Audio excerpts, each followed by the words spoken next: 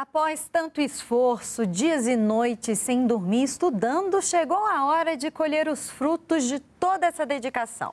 A nota do Enem já está para sair e assim você, estudante, poderá ingressar numa universidade pública.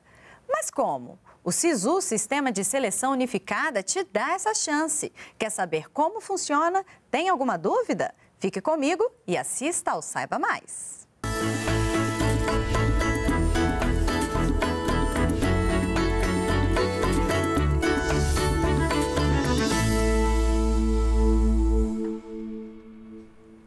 O nosso convidado de hoje é Tiago Leitão, coordenador geral de Políticas de Educação Superior do Ministério da Educação. Bem-vindo. Obrigado. Tiago, antes da gente falar propriamente do SISU, é importante a gente entender as várias formas de se ingressar, né, de entrar em universidades usando a nota do Enem, que é o Exame Nacional do Ensino Médio. E sobre isso, nós vamos abrir o programa com a pergunta de um radialista de Sorocaba. Acompanhe. Olá, eu sou o radialista Roberto Neander, da Rádio Sorocaba, da cidade de Sorocaba, São Paulo, e nós gostaríamos de saber qual a diferença entre ProUni, FIES, SISU e Quero Bolsa. É, o Roberto nos trouxe um questionamento que muitos estudantes também fazem. É, há uma diferença bastante importante entre os programas do Ministério da Educação para acesso à educação superior. O ProUni, ele é um programa que oferta bolsas de estudo. Uhum. Então, o estudante, ele estuda na sua graduação, não paga nada durante esse período e quando ele termina, ele não tem nenhuma dívida nem com a instituição, nem com o governo, caso ele tenha recebido uma bolsa integral. O FIES não, o FIES é um programa de financiamento, uhum. é como um hum. empréstimo bancário. Tá. Então, o aluno ele não paga nada enquanto ele está estudando, ele paga só uma taxa mínima e quando ele termina, então ele né, é obrigado a adimplir essa dívida que ele contraiu junto ao governo. O SISU é um sistema de seleção unificado. O SISU ele é um sistema que unifica os vestibulares de várias instituições federais para permitir esse acesso às, às, instituições públicas. E o Quero Bolsa não é um programa do Ministério da Educação. Eu confesso que não tenho informações sobre ele, né? não poderia passar não nenhuma informação. Não né? faz parte do MEC. E as notas né, do Enem, a nota final vai sair agora em janeiro. E por isso o estudante já tem que estar preparado para saber como bem utilizá-la, né? E por isso temos essas opções, SISU, ProUni e FIES. O isso, primeiro vem o SISU, né? Isso, Lilian. O, a nota do Enem é o pré-requisito necessário para que os estudantes né, acessem o ensino superior via SISU, via ProUni ou via FIES. O primeiro processo seletivo é o do SISU, uhum. seguido pelo do ProUni e, e, por fim, temos o, o do FIES já em meados de fevereiro. O SISU, como você colocou aqui, né, é uma forma de ingressar, né, de entrar realmente no ensino superior, uma universidade pública.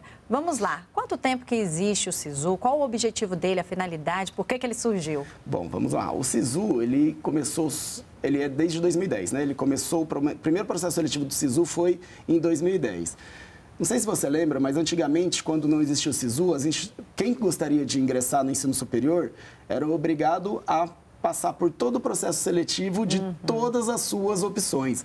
Então, se você quisesse prestar três instituições diferentes, você era obrigado a pagar três taxas de matrícula, prestar três provas diferentes, muitas vezes se deslocar Sim. do seu local e né, na universidade, né, e na universidade para fazer o processo seletivo. Uhum.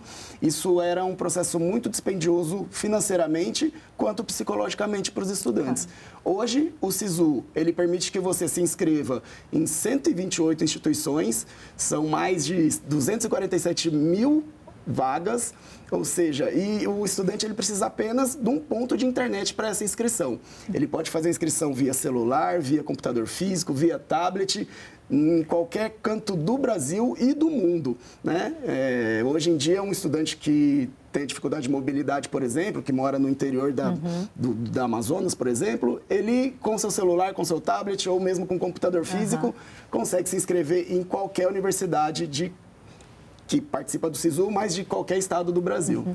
Então, a inscrição é exclusivamente pelo site, né? A inscrição é exclusivamente pelo site, pela internet. E você colocou aqui, né? Ele dá essa grande vantagem que é você concorrer a várias universidades né, do nosso Brasil de uma única forma, né? Não precisa fazer vários vestibulares. E aí, é, ele tem várias é, opções durante o ano? O processo seletivo é uma única vez? Não. Não a gente tem dois processos seletivos do SISU por ano. Né? O processo seletivo de meio de semestre e de início de semestre.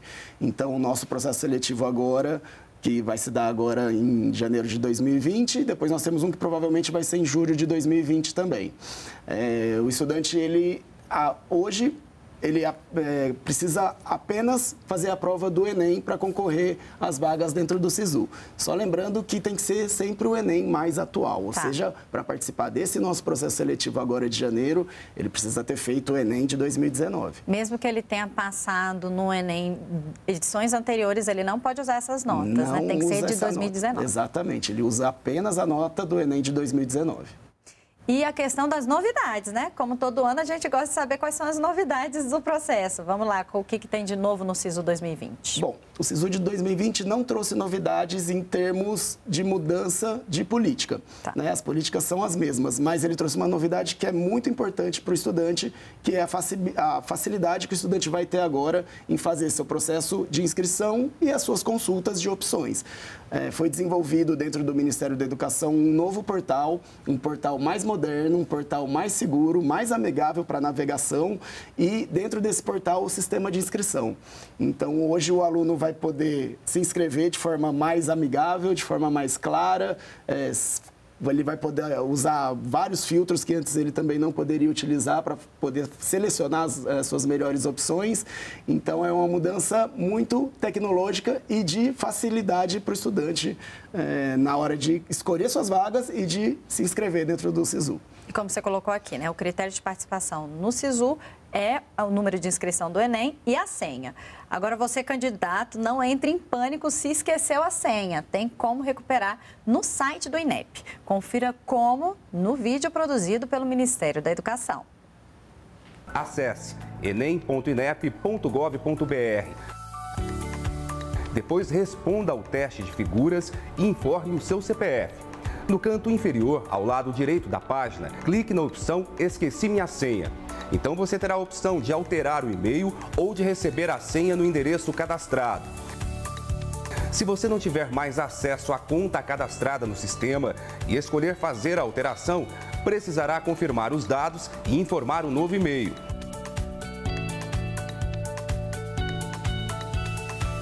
Caso alguma informação esteja incorreta, refaça o procedimento. A senha será enviada para o novo endereço cadastrado. Bem prático, né? Bem prático, Lília. Aquele estudante, né, o candidato que já participou de outros SISUs e já tem uma senha, é sempre essa mesma senha ou sempre tem que estar atualizando? Não. A senha que é utilizada dentro do SISU é a senha que está cadastrada no Enem de 2019. Ah. Então, se ele participou de outro sistema de seleção unificado com outras senhas, ele não vai poder usar a senha que foi registrada naquele processo seletivo. Tem que ser a senha e o número de inscrição do Enem 2019. Agora vamos para aquela parte prática. Ok, coloquei a senha, entrei no site. Qual é o próximo passo? O próximo passo é o estudante escolher as suas opções.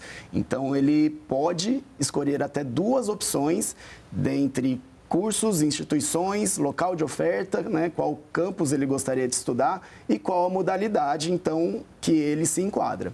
E você falando aqui de cursos, são em média quantos cursos ofertados? São cerca de 6.500 cursos, mas se a gente levar em consideração que cada curso pode ter vários locais de oferta uhum. e dentro de cada um desses locais de oferta a gente tem várias modalidades de concorrência, a gente tem mais de 43 mil opções dentro do SISU. E tem como traçar qual é o curso com mais vagas? O curso com mais vagas para esse ano foi Administração de Empresas, seguido de Pedagogia.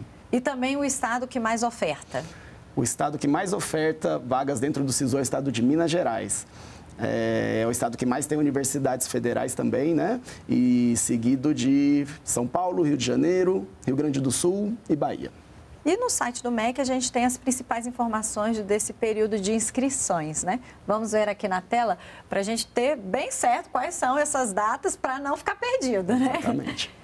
Período de inscrição, né? 21 a 24 de janeiro. Você já falou aqui das duas opções de curso. Antes de tudo, vai ter taxa para pagar a inscrição? Não, não, essa é uma grande novidade que o SISU trouxe para os estudantes. Além dele poder se inscrever em qualquer lugar do Brasil e do mundo, ele não tem nenhum custo para essa inscrição. Agora, falando um pouquinho sobre essas opções de curso, são duas. Como é que funciona? Ele pode escolher qualquer curso, qualquer universidade, pode fazer a mistura que quiser? Pode, pode fazer a mistura que quiser. Ele escolhe, então, um curso dentro de uma instituição e dentro desse curso ele escolhe qual a modalidade hum. que ele deseja concorrer. Então, nós temos três tipos de modalidade. Modalidade de ampla concorrência, modalidade de ações afirmativas, ou seja, aquelas vagas que podem ser reservadas pela instituição para cumprimento de qualquer ação afirmativa. Uhum e a vaga reservada para a lei de cotas, que é a 12711 de 2012.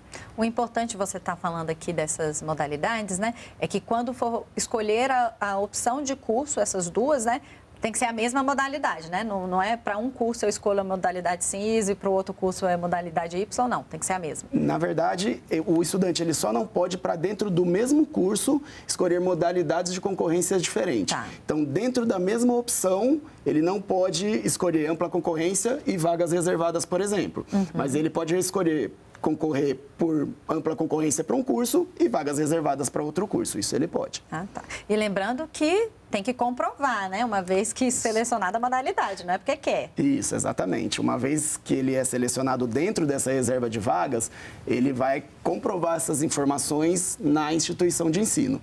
Então, a instituição de ensino já dentro do SISU, ela já insere quais são os documentos que comprovam essas informações.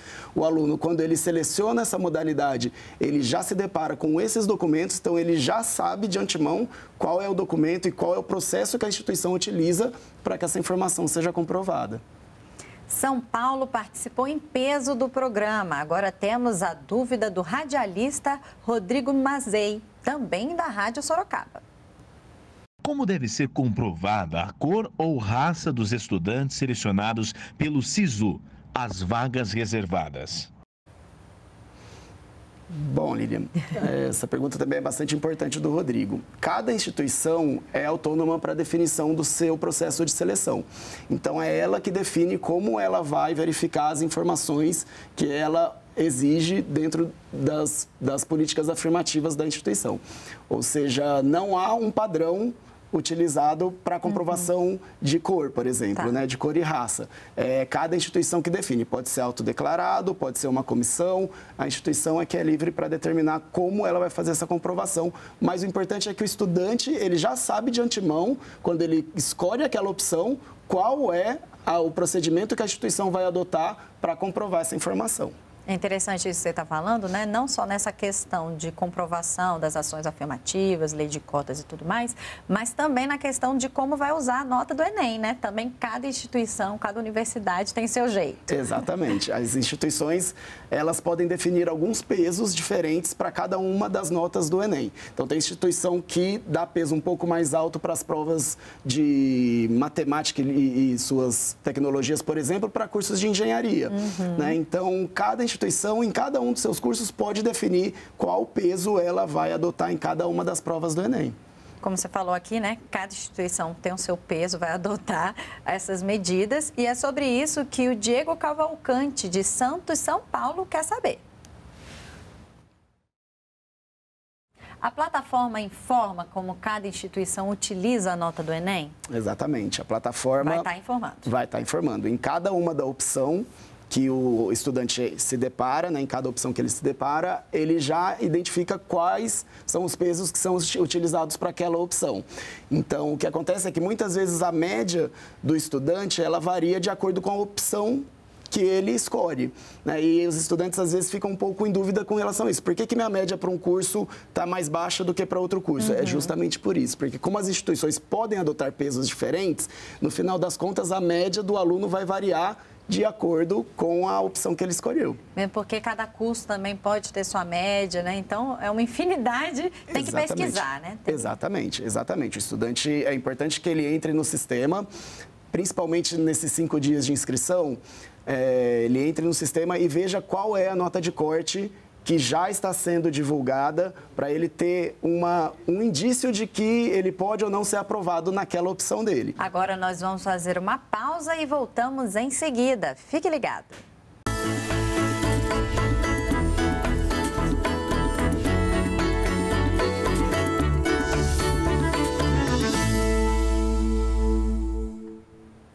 Estamos de volta com Saiba Mais, hoje conversando sobre o SISU e contamos com a presença de Tiago Leitão, coordenador geral de políticas de educação superior. Como a gente estava conversando no primeiro bloco, Tiago, né? Vamos agora continuar a nossa conversa lá. Faltou falar sobre a nota de corte. A aprovação depende dela? Isso, exatamente. A nota de corte ela é um indicativo para o estudante de quão perto da vaga ele está. Então, tem a nota de corte que é divulgada dentro do período de inscrição, uhum. que é apenas um indicativo para saber se o estudante está próximo ou não daquela vaga, e tem a nota de corte final, que essa sim é a nota de corte que define os candidatos que serão aprovados e os candidatos que, serão, que não serão aprovados naquela chamada. Então, a nota de corte é esse balizador entre o aprovado naquela chamada e o não aprovado. Ela é uma referência, né? Porque... No querendo ou não, o SISU recalcula diariamente essa nota de corte? Isso, no período de inscrição ela é essa referência. É, a nota de corte é calculada todos os dias, durante a madrugada e divulgada pelo dia seguinte completo. Então, o aluno já tem uma referência de quão próximo ele está ali daquela vaga. Mas, no último dia, quando as inscrições se encerram, uhum. a nota de corte, na verdade, é o delimitador entre aqueles que são aprovados, que tiraram nota maior ou igual a essa nota de corte, e os não aprovados, que ficaram com nota inferior a essa nota de corte. Por isso, não entre em pânico, sem desespero, né? Exatamente. Porque, às vezes, o, o candidato vai lá, olha a sua nota e vê que não vai conseguir entrar em nada, porque a nota de corte está altíssima. É por causa disso, né? Tá recalculando, espera terminar todo mundo se inscrever, Exatamente. que vai vir a final. Exatamente. O aluno também pode simular em quais cursos a nota dele traria mais possibilidades dele ingressar. Falando nesse negócio de curso, tem curso à distância? Não, o SISU não oferta vagas para curso à distância e também não oferta vaga para aqueles cursos que exigem alguma prova de habilidade específica. Uhum.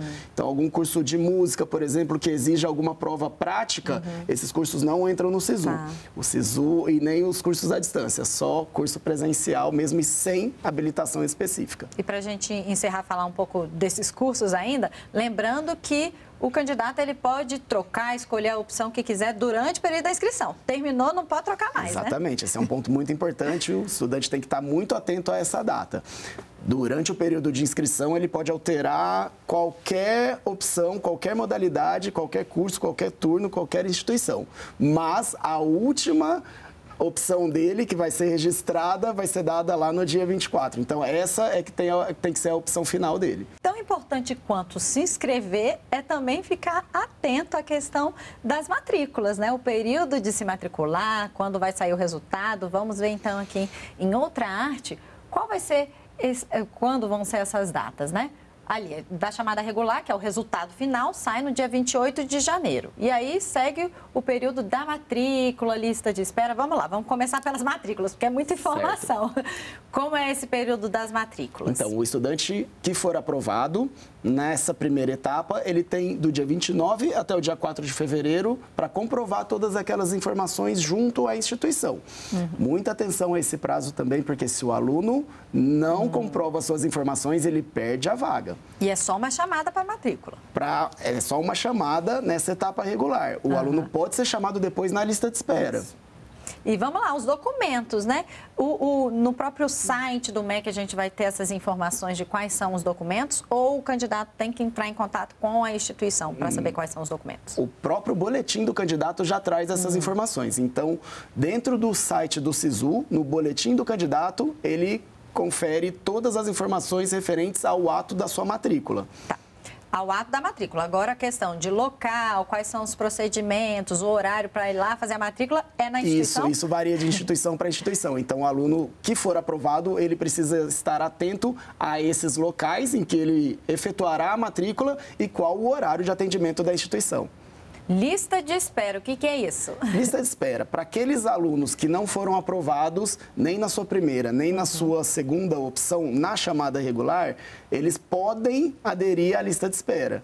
Então, se o estudante quiser continuar concorrendo, ele pode manifestar interesse ou na primeira ou na sua segunda opção e o SISU, terminado esse período, que é o dia 4 de fevereiro, envia para as instituições todos os estudantes, então, que estão interessados nas vagas que porventura não foram ocupadas. Uhum. Então a gente envia, o SISU envia para as instituições uma lista com os nomes né, dos alunos que têm interesse em ocupar alguma das vagas, caso ainda sobre alguma vaga né, que não tenha sido ocupado no processo seletivo regular. Mas lembrando que o candidato ele tem que manifestar interesse, ele tem que né? manifestar. Não é automático. Não é automático. Se ele não manifesta, ele não participa do processo de lista de espera. E aí, enviou, ok, para as instituições essa lista de espera, o resultado sai aonde? Sai no SISU, sai na universidade? Não sai no SISU. O estudante que manifestou interesse, ele tem que ficar atento junto à instituição. Normalmente, uhum as instituições divulgam isso em seus sites, divulgam isso, uh, fixam né, a lista de espera em locais de grande circulação. Então, cabe ao estudante ficar muito atento em saber qual é a classificação dele na lista de espera e em saber quando, se ele vai ser ou não chamado para ocupar uma das vagas ofertadas pela instituição. O Diego Cavalcante de Santos, né, São Paulo, ele tem mais uma pergunta. Vamos conferir. Após a primeira chamada, qual será o prazo para confirmar a participação na segunda chamada? Precisa obrigatoriamente escolher entre uma das duas universidades da primeira chamada? Isso. O estudante tem entre 29 e 4 para prestar o inter... para manifestar o interesse em participar da lista de espera. Só pode manifestar o interesse aquele que não foi aprovado nem na primeira nem na sua segunda opção. Uhum. E ele necessariamente tem que optar entre a primeira ou a segunda opção para participar da lista de espera. Então vamos lá, vamos ver se eu entendi junto com todo mundo que está nos acompanhando. Claro. Nós temos três alternativas, né? Tem, foi lá, tem a primeira e a segunda opção. Passou na primeira e na segunda, obrigatoriamente ele vai entrar na primeira. Correto. Passou na segunda, não passou na primeira, entra obrigatoriamente na segunda. Não passou nenhuma das duas, manifesta interesse na lista de espera. E na lista de espera, ele pode escolher entre a primeira e a segunda opção? Perfeito, exatamente então é isso, isso. gente.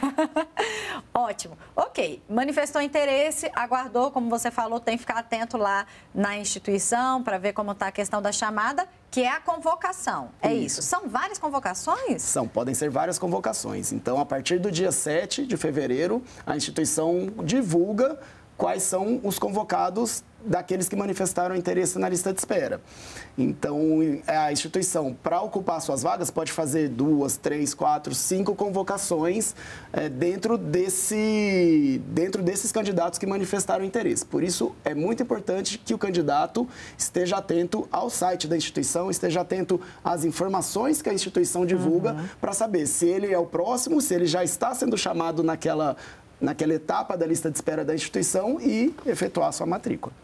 E para quem não conseguiu nada disso, digamos assim, não passou nem no primeiro nem no segundo e também não deu certo na lista de espera, não entre em pânico, né? Exatamente. né? Essa nota pode ser aproveitada futuramente, a nota Exatamente. do Enem. Exatamente. A nota do Enem ainda é uma nota que pode ser utilizada no ProUni e no FIES. Então, caso o estudante não tenha conseguido o acesso ao ensino superior pelo SISU, ele ainda pode conseguir uma bolsa pelo ProUni ou ele pode conseguir um financiamento pelo FIES.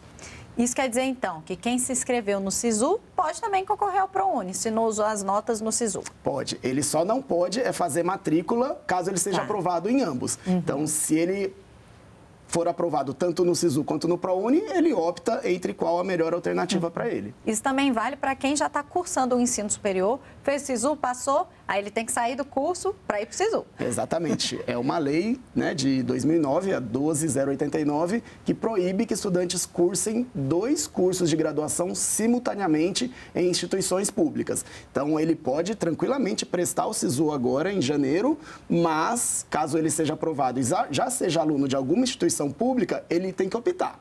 Ou encerra o seu vínculo na instituição antiga, ou ele não uhum. se matricula na nova, na, na, no curso que ele acabou de ser aprovado. Tiago, são 20 anos de SISU, né? Qual é o balanço que você daria para a gente encerrar? Olha, a gente considera o SISU uma ferramenta que trouxe muita facilidade para acesso ao ensino superior dos estudantes, principalmente aqueles que não tinham aquelas condições de viagem, de hospedagem e de pagamento mesmo de taxa de, de inscrição em cada um dos vestibulares que esse estudante gostaria de, de, de, de concorrer.